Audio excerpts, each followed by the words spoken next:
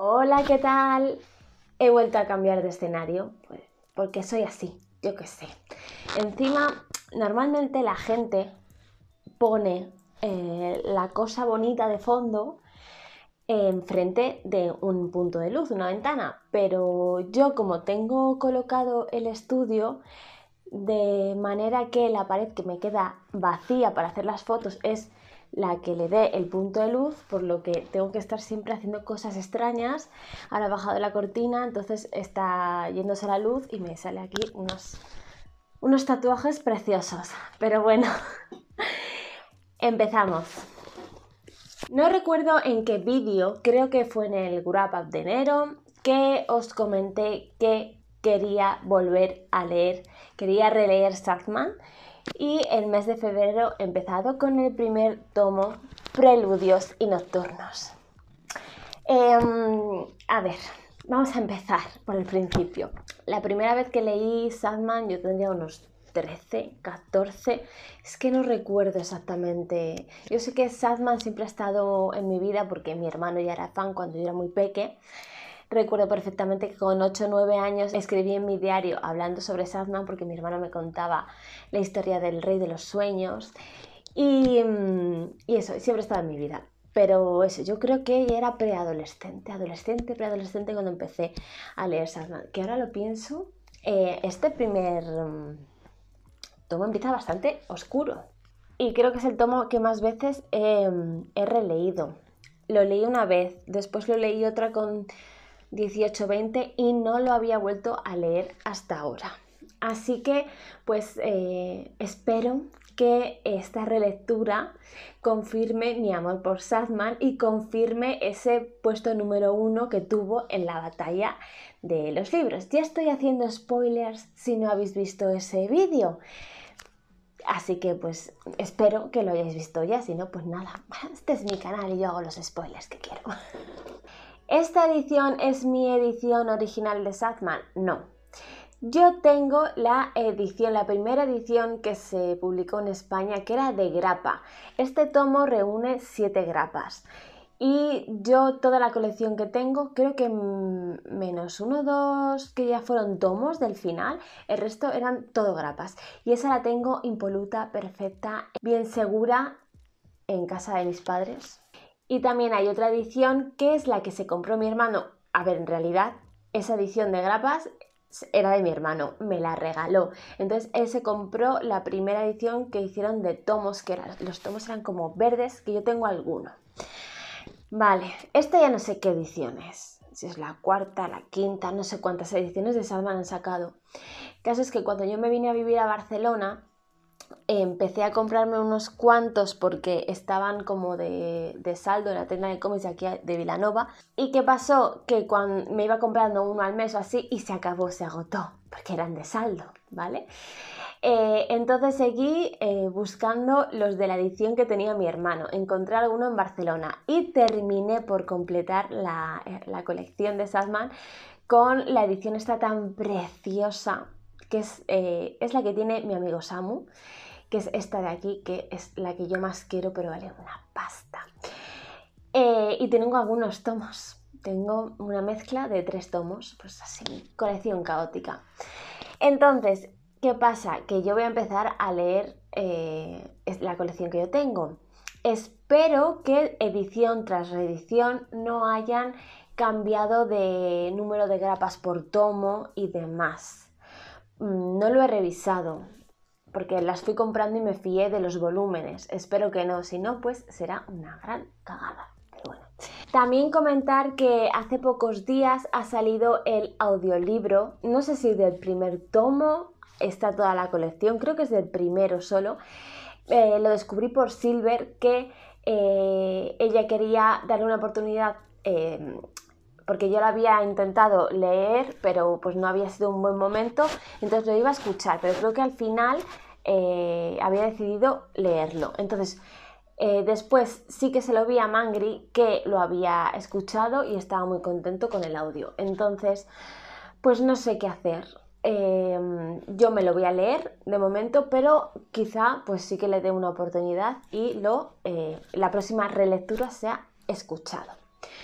Pero yo lo que le comentaba a Silver es que eh, creo que el audiolibro de Sadman está muy bien como relectura, si ya conoces la historia, pero como un primer acercamiento a Sadman, yo sin duda recomiendo la novela gráfica porque eh, es que la ilustración, los dibujos son el 50% de la historia. Entonces, además que está genial ir descubriendo el personaje con las diferentes visiones de los diferentes dibujantes que, dieron vida a Sadman, porque cada tomo es eh, un dibujo completamente diferente y eso eh, pues aporta mucho a la historia.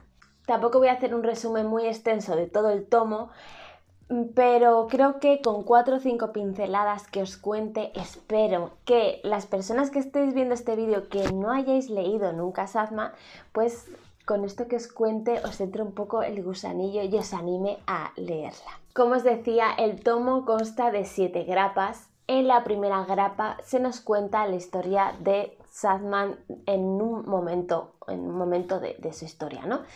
En el momento en el que a primeros del siglo una logia intenta capturar a la muerte, pero se equivocan y acaban capturando a Sadman, el rey de los sueños. ¿Esto que provoca? Pues que durante casi un siglo, al estar Sadman encerrado, capturado, pues que la gente de la Tierra tenga muchos problemas de insomnio.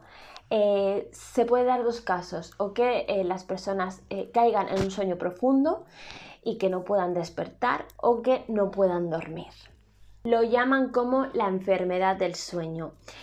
Y yo creo que está muy bien llevado por Neil Gaiman porque es como un poco adentrarse en el siglo XX, en el principio de la era industrial, en esta industrialización del trabajo, de, de un poco de prisas de la vida y que a lo mejor como eh, eso influenció a las personas para que tuviesen, no digo que antes no tuviesen muchos problemas, pero como que se, hubo un poco de auge de, de, mm, problemas psicológicos, de insomnio, de no poder dormir bien por eh, todos los problemas, sobrecarga de, de información eh, en los humanos.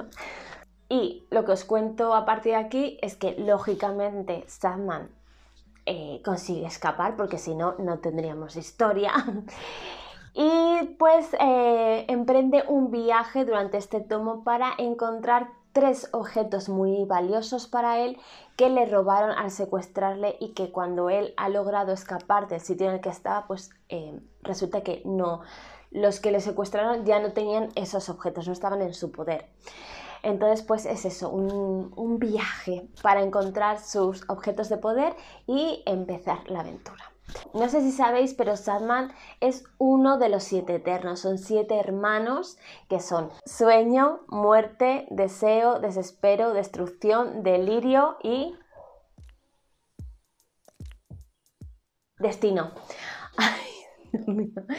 Perdón, destino. En este tomo solo vamos a conocer a Sadman, se nombra a muerte y ya está.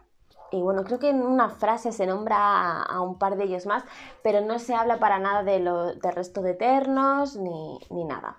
Sí que aparecen personajes que si somos eh, asiduos a leer cómics de DC, mm, vamos a, conocer como John Constantine o como eh, se nombra a la Liga de la Justicia y aparece el Doctor Destino. También sale el manicomio de Arkham y también podemos ver a Lucifer.